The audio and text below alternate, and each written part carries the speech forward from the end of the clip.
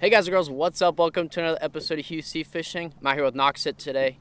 First real fall day of fishing. You see, bundled up. We got both got pants on, both got hoodies on. Uh, we're gonna try to figure it out, adjust the conditions. It was like 90 something degrees the other day. Huge cold front moved in uh, yesterday. We're gonna try to move shallower with the fish. The bait.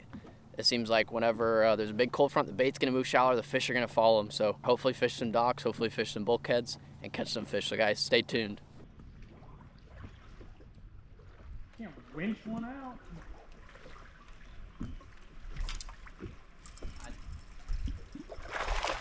Your line sounds awful. Oh, you broke a guide.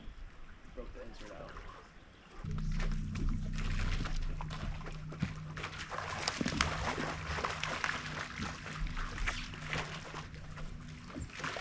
Don't tell me.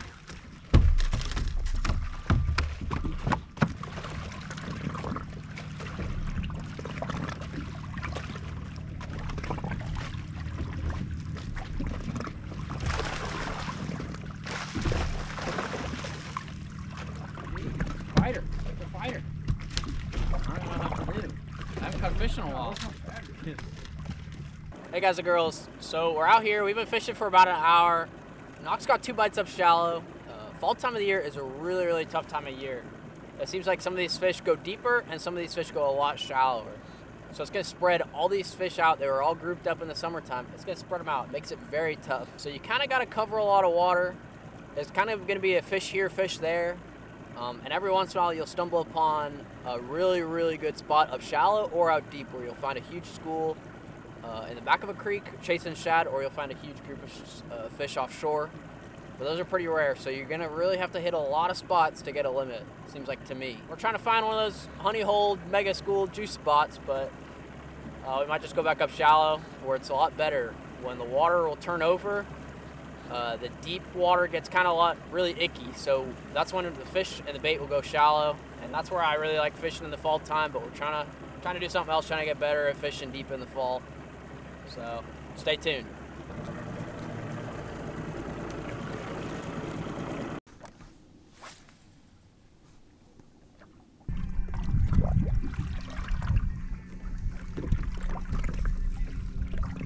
Good one, dude.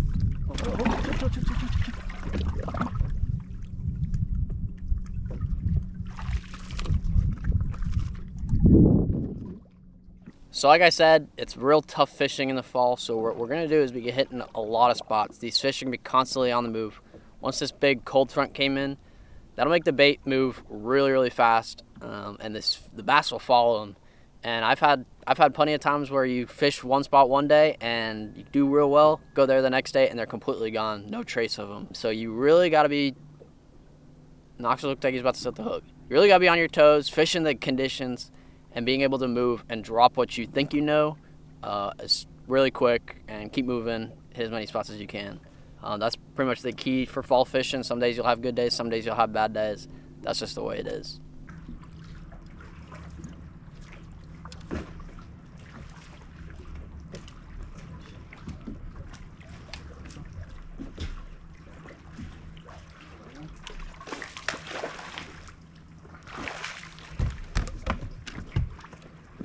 Man, this sucks.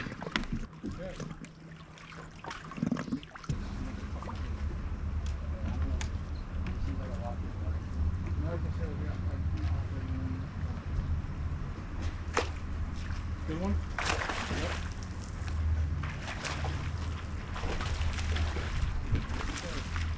Oh, so close. That's a good one. Somebody, somebody tell Knox that he's talented at skipping a jig to make himself feel better. To lie and make himself feel better. Still skipping docks. We we just caught a couple fishing docks. Uh, I don't know how many we've caught now fishing docks, but nothing huge. I think the one I caught was maybe like three pounds, three and a quarter pounds. Knox, what would you say? Yeah, almost four. Knox is saying almost four. I don't know. We'll, we'll review the tapes. And it still seems like there's no real pattern to where they're at. Um, and we haven't really caught any big ones doing it. I caught one big one offshore on Friday. Haven't didn't catch any more, but I know a lot of guys are catching them up shallow on docks. Just not us. So we don't know what we're doing wrong, but we're at least catching some fish. It's interesting to see that we're catching spotted bass off of these docks, um, which is saying, which is telling us that the water is starting to starting to turn over. The spots that want to live out deep, they can't live out deep. They can't survive because there's no oxygen. So that's making them go shallow. They're gonna go up to these docks, and that's why we've been catching a couple of spotted bass on docks, which is making sense with why we're not catching as many out deep, uh, largemouth out deep. Where are you going? So it's kind of making sense why we were catching spotted bass up shallow and that we weren't catching very many largemouth out deep. Um, so you'd think the big bass would be somewhere up shallow, but we haven't we haven't figured it out yet. Still trying though. We got, we're gonna give ourselves like another hour or so, and then we're gonna call it because it kind of sucks. But we're still catching some fish, so stay tuned. Hopefully we'll catch a big one. What's happening is uh, these fish are not wanting to eat. I threw a swim jig on. Uh oh, Knox is going. I threw a swim jig on a lot of docks.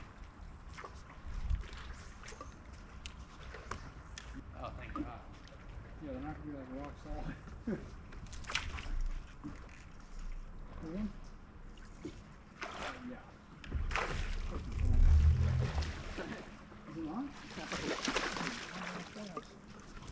Let's go, dude.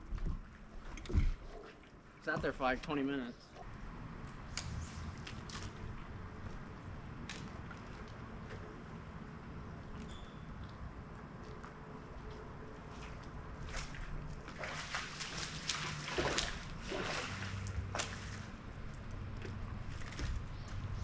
So like I've been saying guys, these fish have been super scattered because they're on the move, the bait's on the move, and what these fish are really doing or what the bait's really doing is they're coming from the main lake from where they were all summer, these points. They're gonna start to use the creek channels and come back further into the creeks.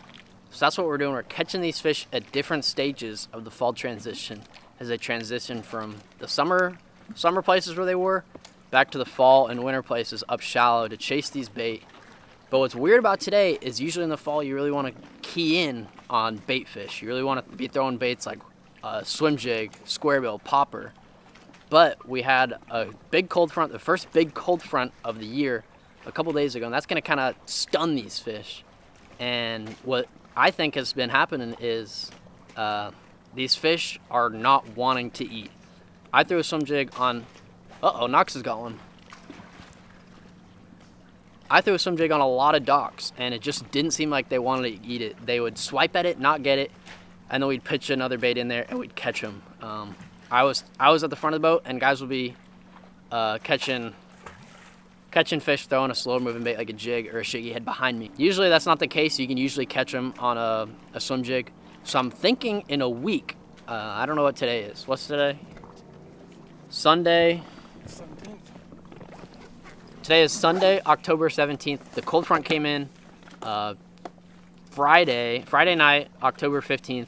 So I'm thinking in a week. It's almost always way better a week after the first major cold front of the year.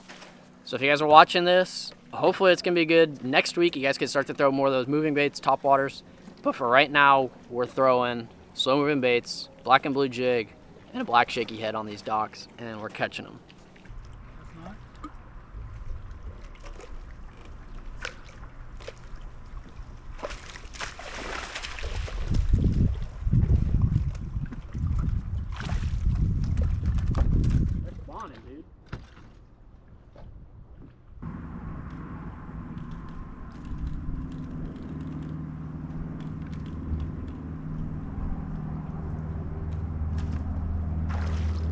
That was sick.